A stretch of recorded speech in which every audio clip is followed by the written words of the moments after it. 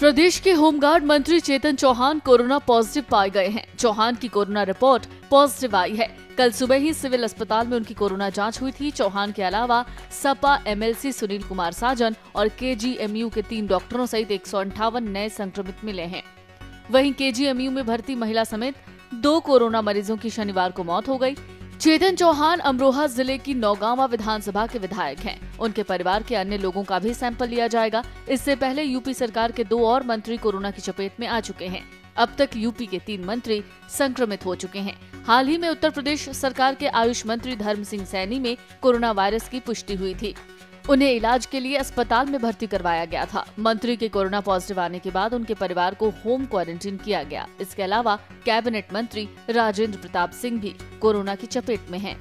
Video desk Amar Ujala dot com. Download करें अमर उजाला app और पाएँ खबरें लगातार।